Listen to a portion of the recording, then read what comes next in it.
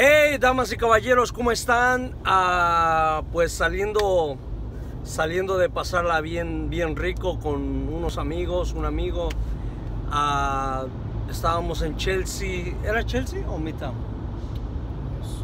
Es Chelsea. Chelsea, ¿verdad? Estábamos en Chelsea. Estamos aquí con nuestro productor y director de Edge Entertainment, Jorge Silva. ¿Cómo está Jorge Silva? Awesome. I feel very good. Bit tired and working all day, but It's good. good. ¿Y qué vamos a cocinar hoy?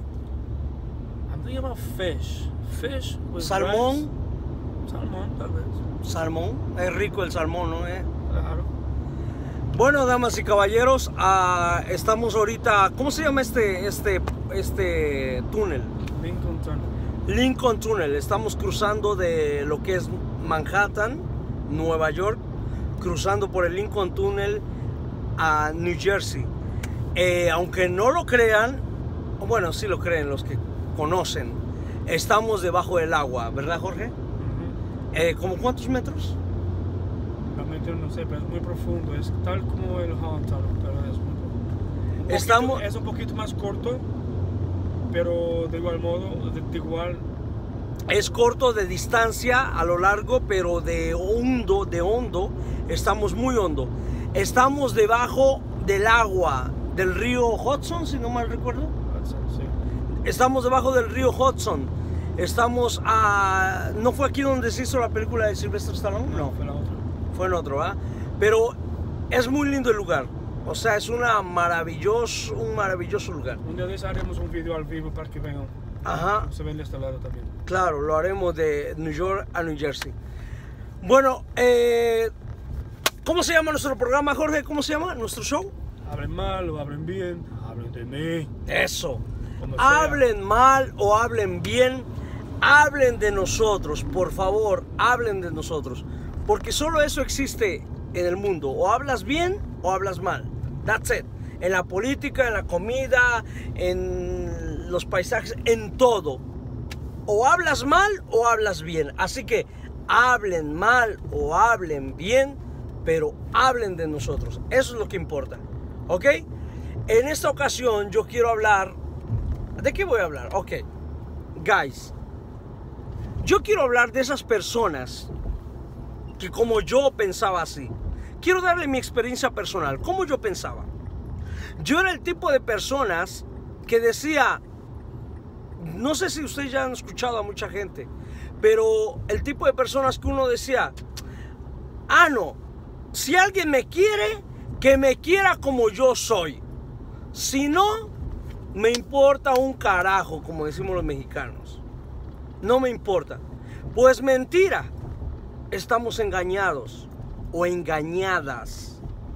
Todos aquellos que piensan como yo pensaba, que si alguien me quiere, pues que me acepte como soy, es una mentira, es una fantasía. Quiero decirles a todos amigos y amigas, a los televidentes de Facebook, de YouTube, que si tú eres una persona que no sabe lidiar, que no sabe estar en el medio, en un intermedio de carácter, eres una persona inestable. ¿Por qué? Porque cuando una persona, o en lo personal, yo lo digo por mi persona, personalmente, mi persona, yo decía, ¿sabes qué? La gente que me quiera como amigo, como pareja, la gente que me quiera como familia, etcétera, que me acepten como yo soy. Y si no, al carajo. Pero es mentira, ¿sabes por qué? Porque yo era muy arrogante. Yo era una persona de un carácter muy malo. Un carácter que hacía bullying, una persona que hacía bullying a los demás, al más débil, lógico. Una persona que le gustaba tener su propio criterio, lo acepten o no, le valía un carajo, me valía un carajo. Y la verdad, ¿sabes qué es lo que ganas? Porque sí ganas, claro que sí ganas. ¿Y sabes qué es lo que ganas? Rechazo de la gente, odio, odio de la gente, que te critiquen, que te vean mal. ¿Por qué? Porque eres una persona melancólica, no melancólica, perdón, una, un carácter eh, muy malo, negativo, peleonero, abusador,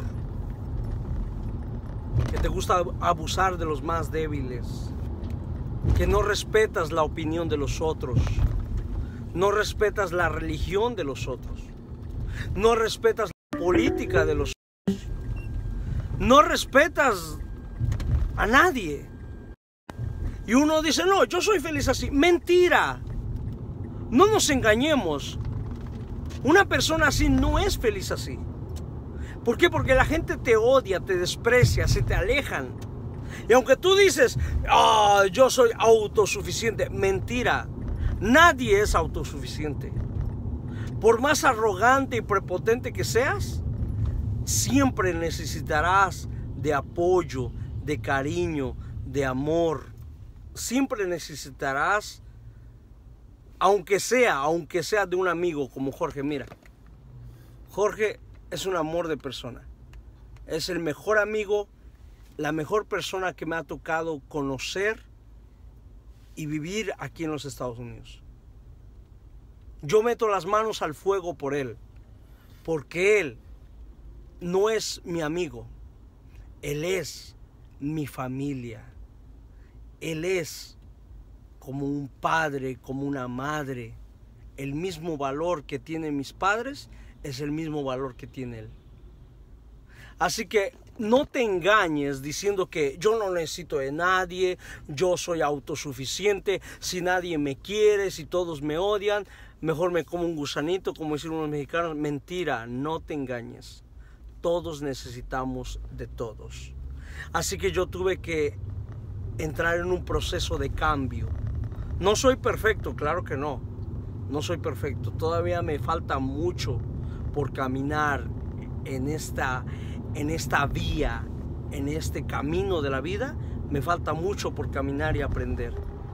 Pero eso sí he reconocido que yo necesito del amor de mi familia, del amor de mis amigos, del amor de la compañía Edge Entertainment, que yo necesito de mis amigos, de mi familia, de mi gente Así que he aprendido poco a poco bajarme del caballo, como dicen, y reconocer mis errores.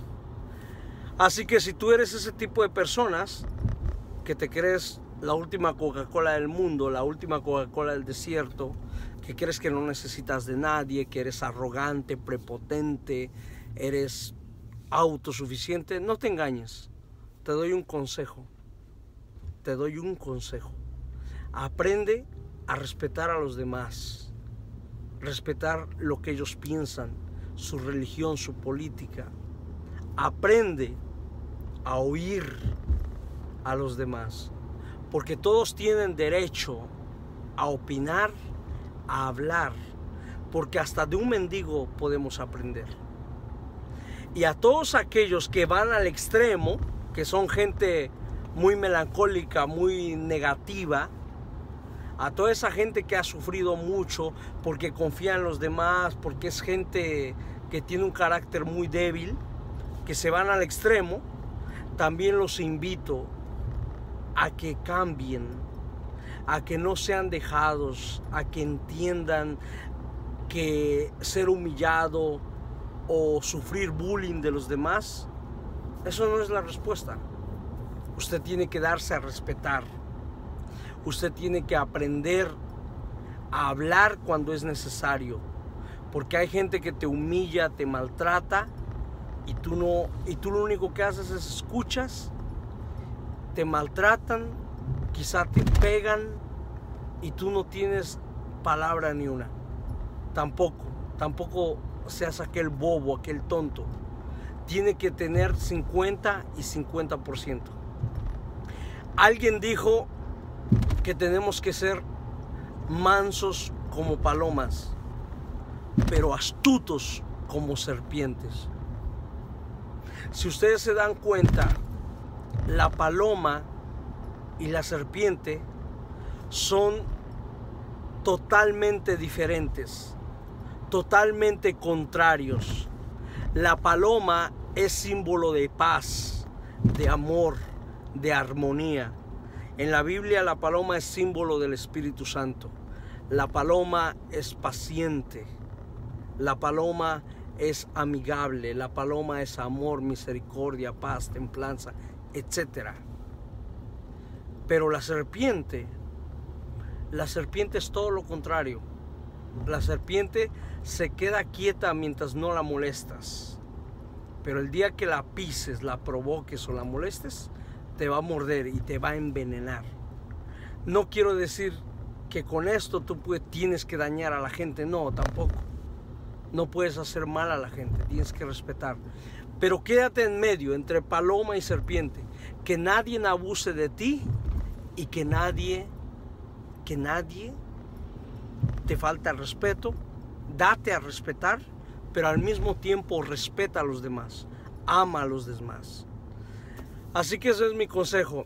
Y quien dijo y nos comparó que debemos ser como serpiente y como paloma, fue Jesucristo en su palabra, en la Biblia. Para todos aquellos que no creen en Jesucristo, mil respetos.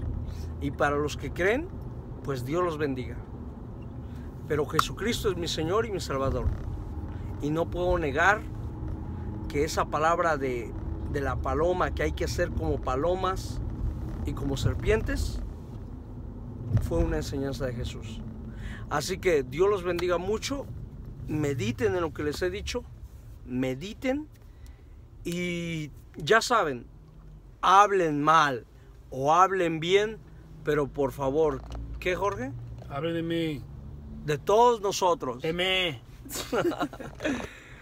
Síganos en Edge Entertainment en YouTube, en Facebook, en Instagram, en Twitter o wherever. O no nos sigan o como quieran. Bendito sea Dios que vivimos en un país demócrata, donde todo el mundo da su opinión. La rechacen o la acepten, hablen mal o hablen bien, pero por favor, hablen de mí. Chao.